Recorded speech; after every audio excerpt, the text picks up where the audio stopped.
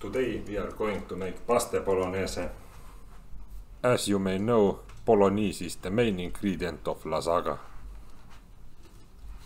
I like to eat lasagna once a month, every week. Goal is to create more portable version of bolognese.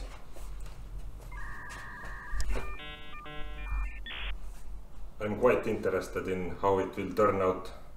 So let's find out. It was time to find out.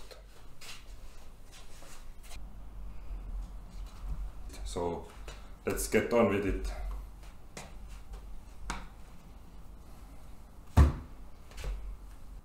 Our today's sponsor is Shelby. Insufficient quantity of onions.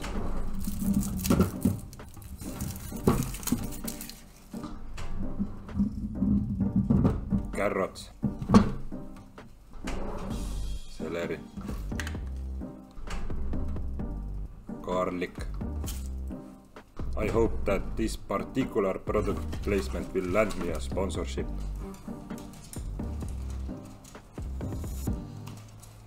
We need to find some seasoning things. It was time to find the seasoning things.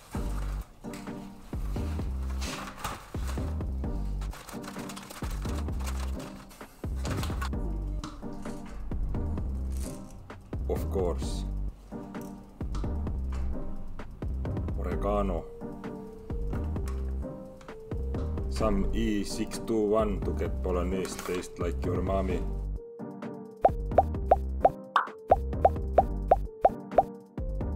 Peel the one carrot that you didn't already eat.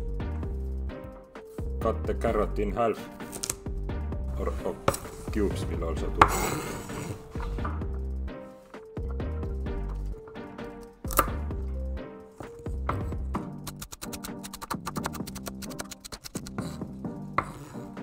Take two pages from Jumbo paper towel to contain the radiation. I mean the crust of onion.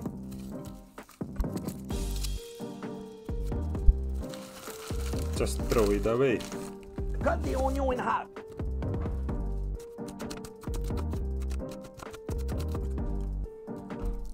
Beat the garlic into pieces.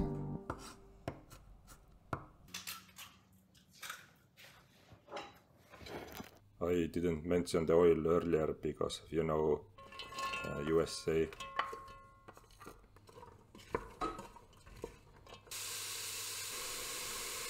Don't forget to add the meat for meatier taste. Also, while the bolognese is cooking, I would like to take this moment to point out that I am not involved in human trafficking. Can't leave the rest in the can, can we?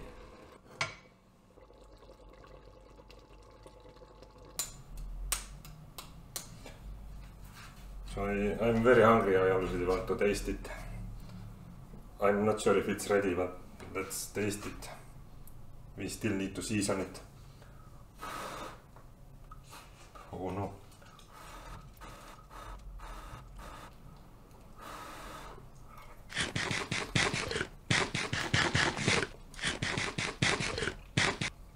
Not enough minerals. Time to add some sodium chloride crystals.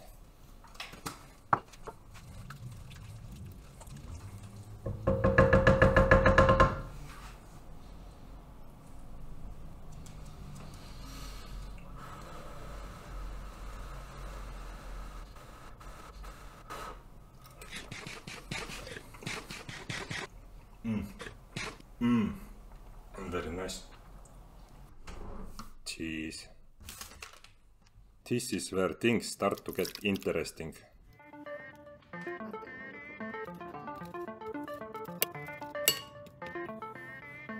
The decoration phase of this basil is nearing the end. Looks much better with basil.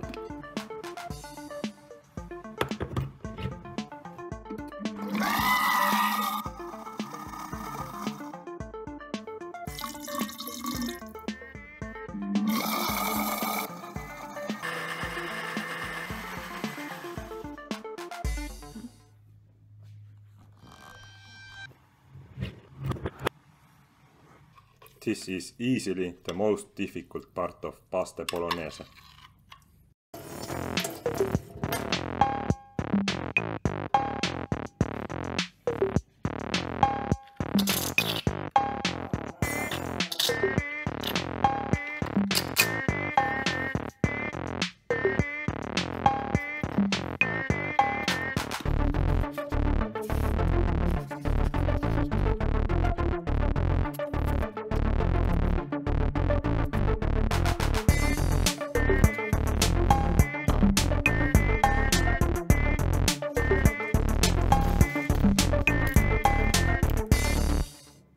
Before tasting the result, let's see how the second variation is made.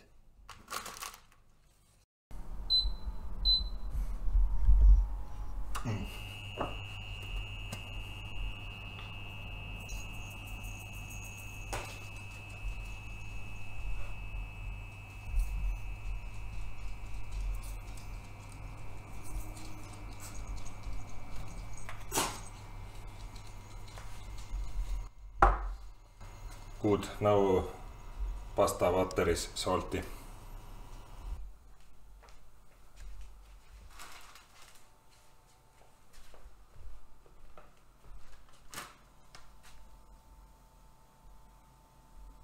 Pasta needs to be hydrated for this to work.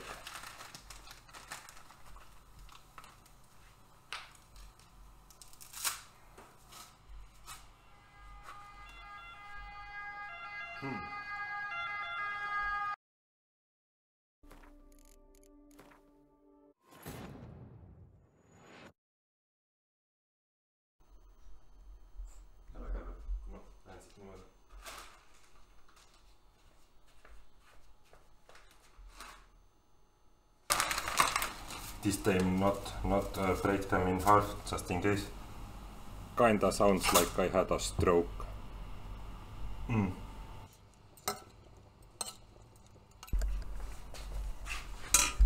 I use strainer. seda mustust tuleb eelnevalt leotada. This is a great time to prepare pasta only snacks if you wish.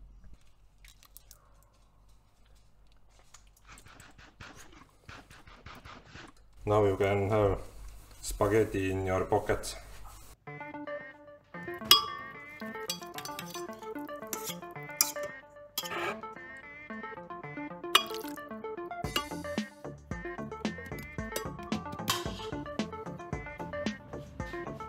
Basil still hanging on.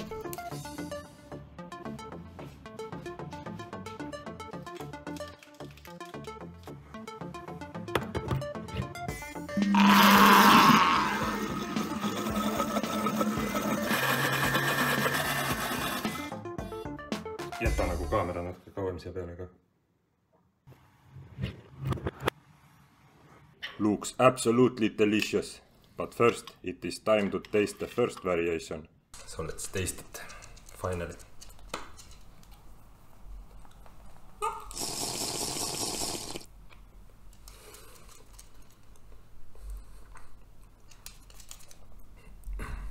It's surprisingly good.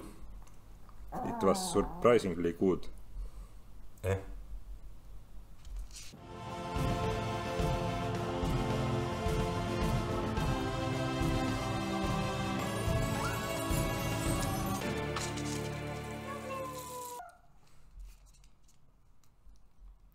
Time to taste second variation.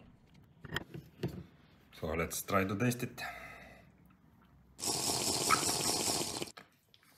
This one has quite funny texture, but it is still so good.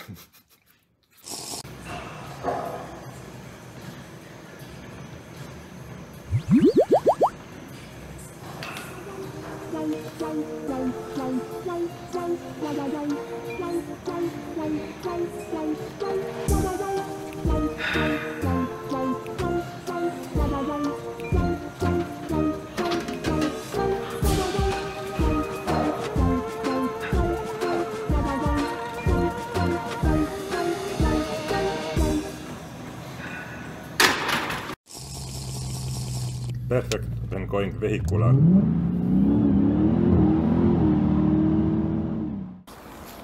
Perfect Meal while on an epic adventure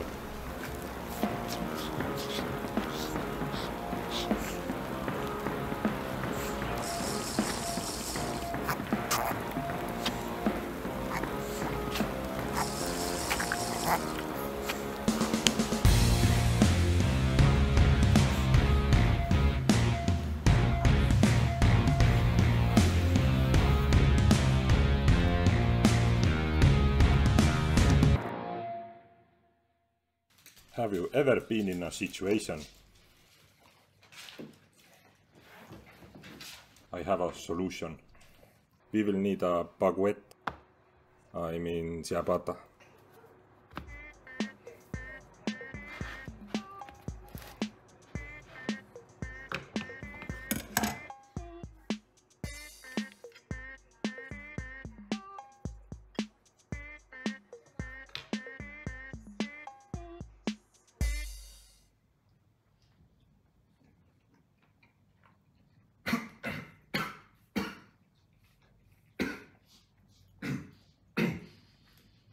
All joking aside, I think this is actually the best use case for pasta bolognese. When it has cooled down, it really starts to shine. It's very, the taste improves. And also it's a good alternative for normal pate, which is usually liver based. And I think half of the people hate liver, so this is good.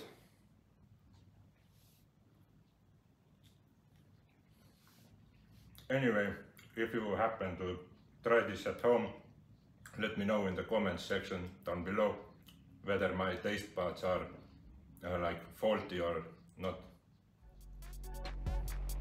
Thank you for watching. Don't forget to subscribe, like and follow me on MySpace, Twitter and real life.